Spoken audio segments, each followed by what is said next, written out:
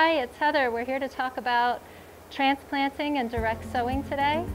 And I'm here to guide you through how to do it perfectly.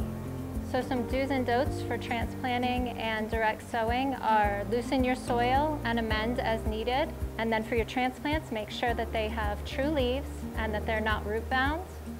And let's play in the dirt. So here we have some chard transplants. You'll notice they have true leaves, which is not the first leaves they get, but you want three, four, five leaves. And then the main thing to check is underneath you see these little root tendrils. Sometimes you'll see, especially with what you get from the nursery, that they'll be all over the place.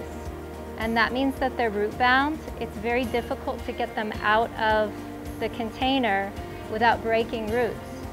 And breaking roots stresses the plant out and makes it so that it's way more likely to go to flower very quickly or to be weak against pests and various diseases.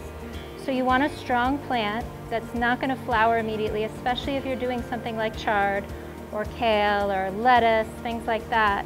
You want to not see more than this little bit of tendril of root. And so assuming that it's a good start, that you feel good about taking space in your dome with, we're gonna carefully pop it out, come close to the ground, so that if one falls out, it doesn't get destroyed. And believe me, I've done this. And then just press on the bottom gently and very gently press on the sides. What we're trying to do is not break the root structure up because the more those roots are whole, then the healthier that plant's gonna be. So see, it all came out. Now the trick is, if you're doing this during the day, make sure that it doesn't get a lot of UV light because that UV light on the roots is also gonna stress your plant. So you wanna either do it quickly or put your body or something else in the way of the light. So here we go. I'm gonna dig a hole. Take this carefully, usually hold the bottom so it doesn't collapse depending on the soil you used. And what you want is right about level with the soil. And then carefully fill it back in. If you've got slightly chunky or wetter soil, sometimes carefully go like this around the edges. Careful not to hit the roots of the plant to try to gently fill it in. Again, without breaking up the root structure. And then depending on your plant, how big it's gonna get, you wanna make sure you have enough spacing. So we're gonna give eh, about seven inches or so because it's chard, it'll be tight. And do it again, close to the ground.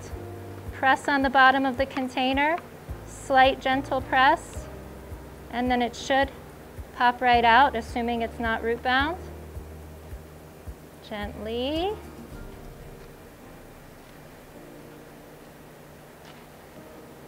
And then there we go.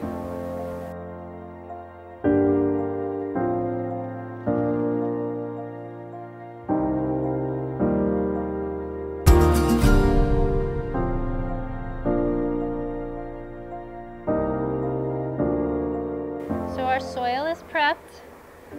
It's all softened up. And sow when I direct so I like to do lines, but as you can see from these carrots here, I also do broadcasting in certain situations. But we're gonna plant some turnips today.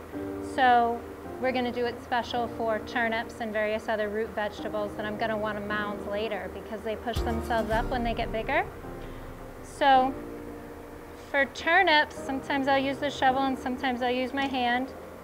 I'm gonna do lines so it'll be easier to thin them and it'll be also, easier to pick them. So, and mound them up. So I'm gonna do some trenches. Depending on how big you're growing your roots will be depending on how far across or how far apart your trenches are. So we'll get them down there because I'm gonna wanna mound them up later. Here's our turnip seeds.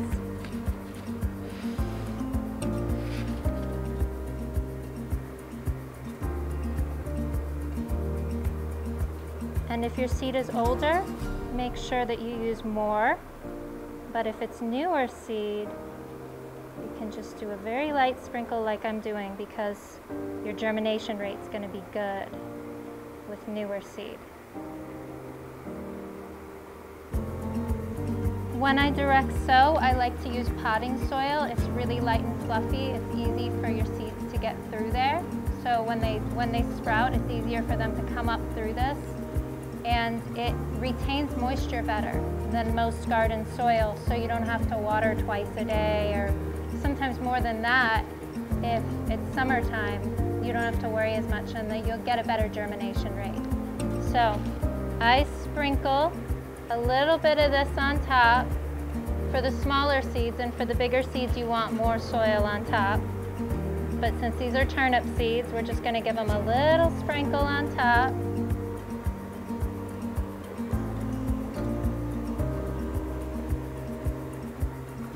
And I'm allowing the trench to stay indented because as the turnip grows, I'm gonna mound it. And that gives me some space to do that. So here we are with some turnips that I planted a few weeks back, maybe a couple.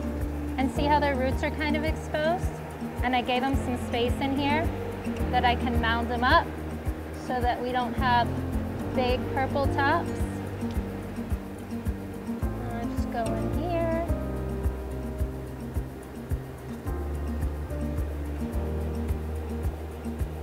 And then just keep doing this so that you have really sweet, healthy turnips, or carrots, or beets, or parsnips, any root vegetables. I like to leave some space to mound up.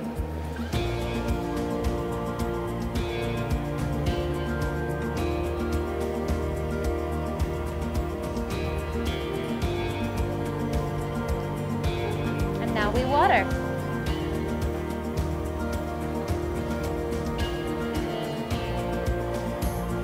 Very important with direct sowing is that you make sure these stay moist. If it requires in the summer for you to water twice a day with the soil that you use, be out there to water twice a day until your seeds pop. I hope this was helpful in helping you be completely successful with your garden. And as usual, if you have any questions, you can email me or call Growing Spaces. We're always here to help.